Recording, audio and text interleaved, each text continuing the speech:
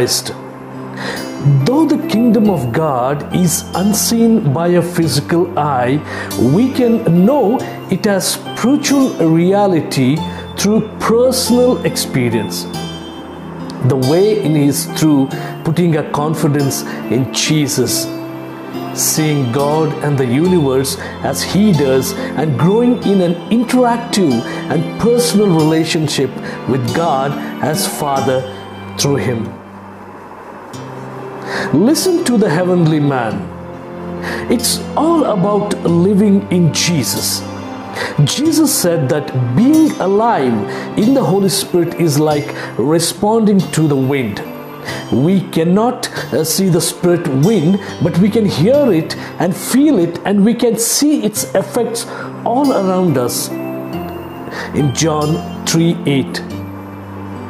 In fact, we can learn to wait for and then join the activity of the Spirit, just like the eagle who sits on a mountain rock or a tree top and waits for a current of wind and then he rides on the back of the wind letting it lift him and send him soaring so that all he needs to do is turn his feathers slightly to steer himself the bible says in isaiah 40 31 to the extent that we learn to live today, my brothers and sisters, in spiritual reality with the risen Christ, drawing our sustenance and identity from there rather than from our physical bodies and visible circumstances. We will not be overcome by the trials of life, nor will we fear the cessation of our bodies. Instead, we'll be learning to live on planet Earth from the unseen heavens and will rejoice to one day completely uh, leave this world for the glorious one. When we depict the life of Jesus, we depict his life as a heavenly man. It is written in 1 Corinthians 15:49. It says, "The light of the gospel that is hidden is meant to be disclosed." Consider carefully what you hear. Whoever has uh, a revolution will be given more. Whoever does not have even what they have will be taken away. It's written in Mark 4:22 and the verse 25. Now, when we learn a lessons uh, on spiritual reality from the Mark's gospel, we see many examples in the gospels of Jesus illuminating little faiths like the disciples and us. And here are a few examples from the book of Mark. Here Jesus proclaims his gospel. The kingdom of God is near. Repent and believe the good news. It's written in verse 15. He heals the sick with a touch and delivers people of demons with a word. Many instances all through Mark's gospel. Jesus teaches the light of the gospel that is hidden is meant to be disclosed. Consider carefully what you hear. Whoever has a revolution will be given more. Whoever does not have even what they have will be taken away. It's written in, in the fourth verse 22 and 25. The fishermen disciples panic in a life threatening storm at sea while Jesus naps peacefully in the boat. Finally, he calms the storm for them and then says, Why are you so afraid? Do you still have no faith?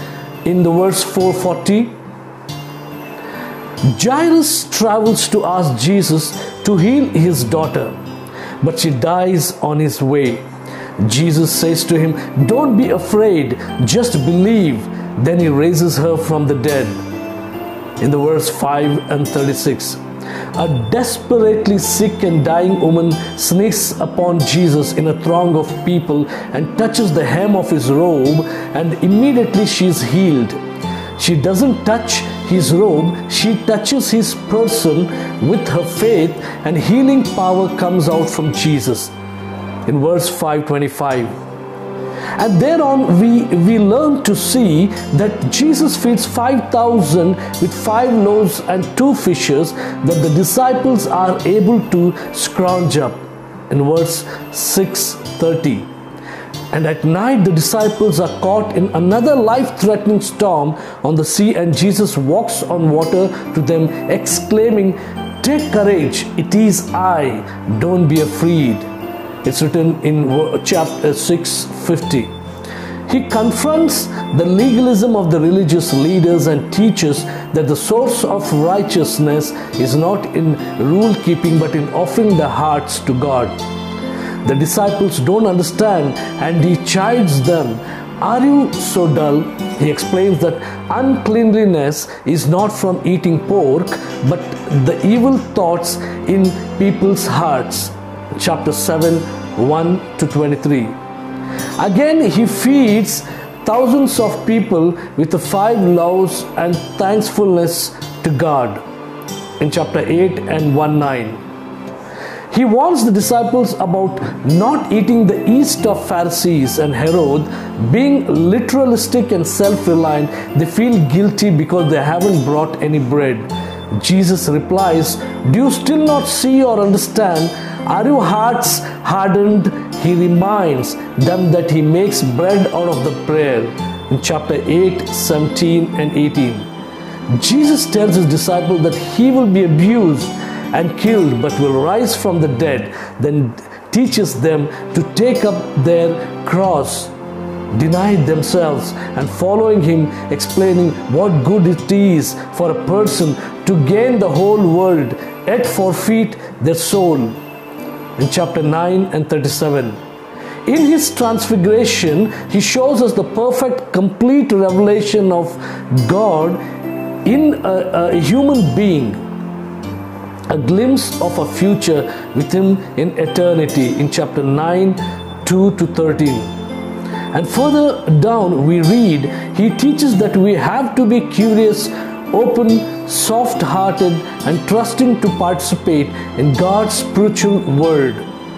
Anyone who will not receive the kingdom of God like a little child will never enter into the his kingdom. In chapter 10 and 15. The rich young ruler wants eternal life but isn't able to let go of the wealth he's holding on to.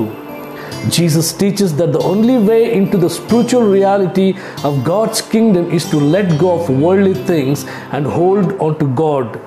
Chapter 10, 17 and 31.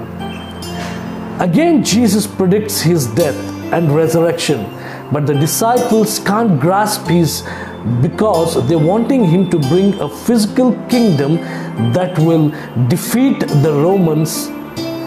James and John even ask for the highest positions in the kingdom. Jesus explains that his spiritual kingdom is an inversion of the human order. Whoever wants to be great among you must be your servant, and whoever wants to be first must be slave all.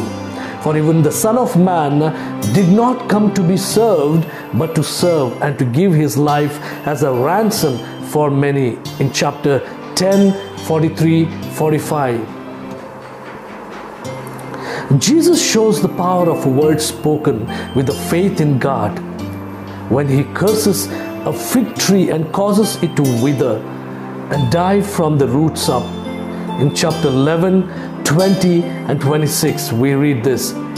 And he explained that the poor widow who put cents in the temple offering put more than all the rich because only she gave her gift in reliance upon God. In other words, a lot from a person without anything from God is nothing at all, but a little bit from a person with a lot from God is huge. In chapter 12, 41 44. Jesus teaches that the way to overcome sinful temptations is not to try harder but to watch and pray by anticipating a future trial and then rely on God to help you become a different kind of person on the inside. In chapter 14, 32, falsely condemned betrayed, abandoned by those closer to him, scourged and crucified on a cross. Jesus forgives and loves them all. When one of the centurions who abused and killed him saw how he died, Roman exclaimed, Surely this man was the Son of God. In chapter 15, 39.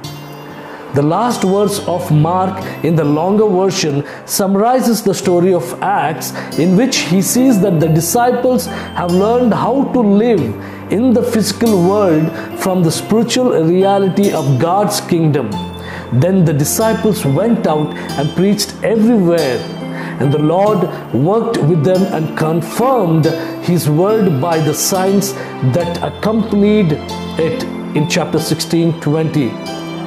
My dear brothers and sisters, in today's world, it's all about understanding the difference between the living in a physical world and a spiritual realm. And I'm sure you are all blessed with this understanding of the spiritual world of living. May God bless you. Shalom.